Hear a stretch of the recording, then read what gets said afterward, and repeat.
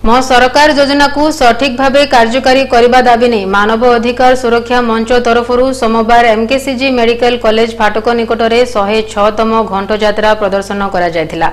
ସ୍ୱାସ୍ଥ୍ୟ କ୍ଷେତ୍ରରେ ରାଜ୍ୟ ସରକାର ଅନେକ ଯୋଜନା କରିଥିଲେ ବି ତାହା ସଠିକ୍ ଭାବେ କାର୍ଯ୍ୟକାରୀ ହୋଇପାରୁନାହିଁ। ଫଳରେ ଅନେକ ସମୟରେ ରୋଗୀଙ୍କ ନିକଟରେ ସ୍ୱାସ୍ଥ୍ୟ ସେବା ପହଞ୍ଚି ପାରୁନଥିବା ଏଠାରେ ମଞ୍ଚ ପକ୍ଷରୁ ସଂଯୋଜକ ଅବନୀ କୁମାର ଗୟା ଅଭିଯୋଗ କରିଥିଲେ।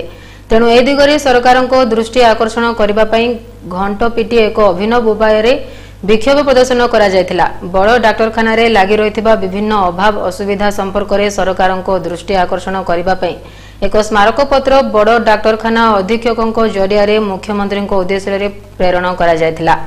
ଅନ୍ୟମାନଙ୍କ ମଧ୍ୟରେ ପ୍ରଫୁଲ୍ଲ କୁମାର ପଶୁପାଳକ ତ୍ରୈଲୋକ୍ୟ ନାଥ ଆପ୍ତା ମାଗୁଣୀ ନାହକ ଗୁରୁଦେବ ବେହେରା ଡମ୍ବରୁଧର ସାହୁ ଶଙ୍କର ସାହୁ ଋଷିକେଶ ପାତ୍ର ବଂଶୀଧର ଭୂୟାଁ ପୂର୍ଣ୍ଣଚନ୍ଦ୍ର ମହାରଣା ଗଗନ ଚନ୍ଦ୍ର ମଲ୍ଲିକ ସୁଶାନ୍ତ ସାବତ ଏସ୍. ସାମ୍ବଶିବା ରାଓ ପ୍ରମୁଖ ଉପସ୍ଥିତ ଥିଲେ।